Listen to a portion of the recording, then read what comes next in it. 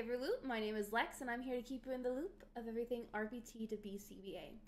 So, what we were last going over, which was the RBT task list breakdown, we're going to go over the sections of D through F. If you haven't already, go on and like, subscribe, and comment on the videos. It's really helpful for me to be able to keep these videos going, um, and hopefully, they're helping you guys through your studying, or if you're already in RBT, keeping you up to date with the RBT task list. As you can see here, you can see all the sections. It is a lot, but this is the final of the RBT task list. So buckle in, here we go. The first thing I want to start with is D1, which is behavior reduction plan. So every behavior reduction plan must clearly identify replacement behavior. So it's not enough to say that we want to stop it. We also need to provide an alternative behavior that can be reinforced. Positive reinforcement is always a key part of an effective plan. So that's all that. Then we have D2, which is our functions of behavior. So all behaviors serve a purpose. We usually think of four main functions. So we have our sensory or automatic reinforcement, our escape or avoidance, our attention or and tangible. So with the sensory, which is our automatic, is behavior provides its own reinforcement. So whatever feels good. So it's not learned, it's just an instant gratification, right? So a child rocks back and forth because it's calming. That is a automatic or sensory function of behavior. And we have escape and avoidance, which a behavior removes or postpones something unpleasant. So the student pretends to be sick to avoid a math test. And then we have attention, which is behavior gains social interaction, so positive or negative. So an example of this would be a child shouts in class to make peers laugh. And then tangible or access, which is our behavior gets a preferred item or activity. So a toddler screams until they get a cookie. So these are our main functions of behavior that we see all the time. So when a behavior happens, there's never just not for no reason whatsoever. There's always a reason, and it usually leads to one of these functions of behaviors. So antecedent interventions. Antecedent interventions prevent problem behaviors before they start. So we can change motivating operations, which alter the value of a reinforcer, or we can discriminative stimuli to signal when reinforcement is available. So, for example, deprivation makes a reinforcer more powerful, while satiation makes it less effective. And SD will tell the learner that the reinforcement can be earned if they respond correctly. Differential reinforcement teaches new behaviors while reducing problem ones. So we have our DRO, DRA, and DRI. So our DRO, which is differential reinforcement of other behavior, is we're going to eliminate the target behavior. So we're going to reinforce when the target behavior does not occur during a set interval. So every five minutes, we'd be like, good job, you sat so quietly. Good job. So reinforcing the fact that that behavior did not happen. DRA, which is differential reinforcement of alternative behaviors, is to replace a target behavior. So we want to reinforce a function alternative behavior instead of a problem behavior. So an example is a child is reinforced for raising their hand instead of shouting. So it's an alternative. So instead of going, teacher, teacher, teacher, we're no longer reinforcing that. We're reinforcing that they raise their hand. We, oh my gosh, good job raising your hand. How can I help you? We are going, we are reinforcing that raising the hand and not the shouting. And then we have DRI, which is your differential reinforcement of incompatible behavior. So the goal is to replace a target behavior with one that cannot happen at the same time. So we're going to reinforce sitting. You can't be standing and sitting at the same time. So again, the key differences are DRO, which is to reinforce the absence of behavior, DRA to reinforce a different functional behavior, and a DRI, which is reinforce a behavior that makes a problem behavior impossible. And then we get to extinction. So extinction happens when a behavior no longer produces reinforcement. So over time, the behavior should decrease. We must first understand the function of behavior to use extinction correctly. So one important point is extinction often leads to an extinction burst, where the behavior is temporarily to get really, really bad before it improves. Um, if we stop too early, we risk strengthening the behavior instead of weakening it, which is really, really important for extinction. Then we get into crisis and emergency procedures. So when a crisis is happening, it is top priority to make sure your child is safe. When a crisis happens, the priority is safety. So emergencies may include aggression, self-injurious behavior, elopement, and our role as an RBT is to follow trained procedures and keep clients and ourselves safe and alert their supervisor right away. And afterwards, every incident must be documented and reported. Um, every clinic or school, they'll have a certain policy on how to go about that. Make sure you are well aware of how to do that and what are the proper steps for whatever setting you are in with your client. Okay, moving on to E, which is documentation and reporting. So, for ongoing communications with supervisors, so supervision isn't just about observation, it's ongoing communication. RBTs are expected to meet regularly with their supervisors to share updates, ask questions, review the client's progress. This ensures service stays ethical and effective. And then we get into seeking clinical direction. So if something comes up, don't wait for the next meeting. You need to contact your supervisor as soon as possible. That means that if you have to get a hold of them through email, through phone, through text, whatever your workplace uses to be able to reach your supervisors, you need to let them know ASAP. Remember, your job is to direct that to the BCBA right away. You do not answer those questions because you don't actually know. It is something that needs to be answered by a BCBA. So, if a parent ever brings anything up to you, make sure it's immediately told to your BCBA.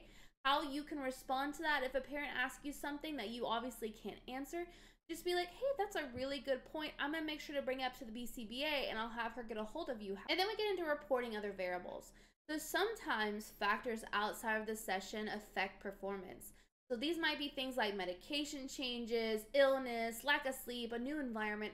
We are responsible for documenting and reporting those variables to the BCBA so they have a full picture of when analyzing progress.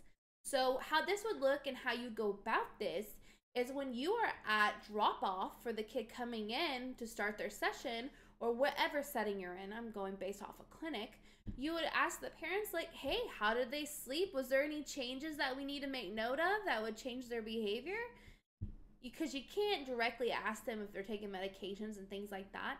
So you can always just ask, like, hey, did they sleep well? Did they eat breakfast? Um, is there any changes that have happened that you've seen of their behavior? Is there anything that we should know? And usually that opens up to parents to be like, oh, yeah, this happened. But if anything, just make sure you get all the information you possibly can and then let the BCBA know. And then we get to objective session notes. So, session notes must always be objective. This means writing what you observe, not your opinion. For example, say the client sat at the table for 10 minutes and completed three tasks instead of saying the client was really lazy today. He just was not feeling it. He was not just not having a good day. That helps nobody. So notes should always include who is present, what activities were completed, and any relevant factors that impact the session. A good way of thinking about it is like doing ABC data, right? So you're gonna know what the antecedent was, so what happened before the behavior, B, for behavior, so what was the behavior, and then C, which is your consequence, what happened due to the behavior. And then we get to compliance with legal and workplace requirement. All data and documentation must follow legal and workplace rules. So that includes keeping information secure, confidential, and stored properly. Most records must be kept for at least seven years, but it may be longer depending on the law. And then following the guideline protects clients and keeps services compliant. Now we're into the section of the professional conduct and scope of practice. Now this one doesn't have a lot of slides to it because it is pretty much as it says. So I'm just going to go through it and explain. So for the first one, which is describe the role of an RBT in supervision. So RBTs are certified professionals in ABA. We implement plans, we collect data, we communicate as needed, and we always work under the supervision of a BCBA. So supervision must cover at least 5% of service hours each month, with two face-to-face meetings. RBTs also renew certifications yearly with renewal assessments, background checks, and fees. Now, I do want to bring up that there are new requirements happening soon where when RBTs go to renew their certification, it will now be for two years. So make sure that you guys are keeping up with the BACB updates. They send out newsletters so that you guys can see what's going to be happening when 2026 uh, follows through. I know there are going to be a lot of changes, so make sure you are keeping up to date with what your new requirements are. I know there's going to be also CEUs added. I'm not sure when they're going to start getting on and you have to do that. but make sure again that you're looking at your BACB website, keeping yourself up to date because there are changes happening soon for 2026 and 2027. Now on to responding to feedback. So feedback is a part of our professional growth. Sometimes it'll be positive reinforcement for things we're doing well. Other times it'll be constructive criticism to correct our errors. The key is how we respond as RBTs. Our supervisors are legally and ethically responsible for the services that we provide. So it is our duty to take feedback seriously and apply it right away. So that means avoiding defensiveness, asking clarifying questions if we're unsure, and showing that we're willing to learn and willing to understand the plan that they have created. And by responding professionally, we not only improve our own skill, but we also help ensure better outcomes for the client because at the end of the day, the only one that matters is the client and if they are getting the help that they need. But what happens if you feel the feedback isn't helpful, clear, or doesn't follow the RBT ethics code? In that situation, the professional response is to respectfully ask for clarifications or examples. So, for instance, you might say, Can you show me exactly how you would like me to run these procedures so I can make sure I'm doing my job correctly? If feedback continues to feel really vague, and inconsistent, or not aligned with best practices, you have the responsibility to seek guidance. So that could mean scheduling a supervision meeting, requesting written feedback for clarity, or bringing concerns to another quad qualified supervisor if needed. So the ethics code requires RBTs to work under effective supervision. So if supervision is inadequate, it's appropriate to raise the concern to a professional manner. So clients' service remain ethical and effective. All right, now we're to communication with stakeholders. So as RBTs, we may interact with caregivers, teachers, other professionals who are involved in the client's life, but we must always stay within our own scope. This means that we should share updates, session information, or data collection details only as directed by the BCBA. We cannot make treatment decisions or provide clinical recommendations on our own. If someone asks a question outside of our role, for example, a parent's asking if you if we can change a reinforcement system, our responsibility is to let the BCBA know and they will address it. So, clear communication with stakeholders while staying within the scope will help build trust and keep the team aligned. And then we get into professional boundaries. So, maintaining professional boundaries is one of the most important responsibilities as an RBT. Boundaries keep focus on treatment and protect both the client and the therapist from ethical concerns. So, first, we must avoid relationships. That means we don't take on other roles with the client or family, such as being a friend, babysitter, or accepting gifts over $10. Even small gestures like a holiday present can create big conflicts of interest and blur professional lines. Social media is another area where boundaries are really important. We should not follow or friend or message clients or their families. Another piece of maintaining boundaries is respecting cultural obligations as well. So every client and family comes from a unique cultural background that shapes their values, communication styles, and expectations. And as RBTs, we must recognize and honor those differences while staying within our professional role. So, for example, in some cultures, it may be customary to offer food or gifts as a sign of respect. While we cannot accept gifts over $10, we can still show cultural sensitivity by politely explaining the policy or expressing gratitude in another way, like thanking them verbally or reminding them that their child's progress is the best gift.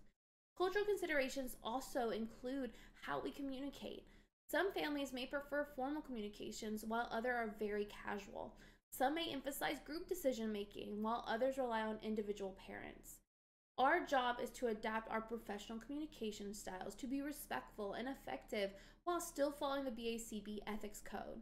Now, boundaries are not being distant or cold. Please don't do that. They are about ensuring a professional relationship that protects the client's dignity and respects their culture and keeps the treatment effective. And then at last, we get to our maintaining client dignity. Above all, our role is to treat every client with dignity and respect. That means we never talk about clients in a way that is disrespectful or judgmental. We use professional, objective language at all times. Maintaining dignity also means honoring their privacy, giving them choices whenever possible, and recognizing their individuality. For example, instead of treating a client like it's a checklist of behaviors, we see them as a whole person with strengths, preferences, goals, likes, loves, hates. We respect all of it.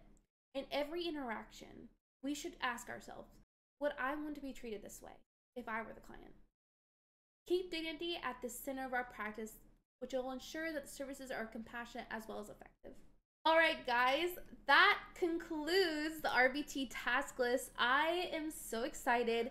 I got to finish this with you guys. I hope you like it. Don't forget to subscribe and like and comment. I will be doing mocks soon, so hopefully that helps all the RBTs out there or wannabe RBTs. I am so excited to get you guys into this field, and I hope you have an amazing time. I'll catch you later.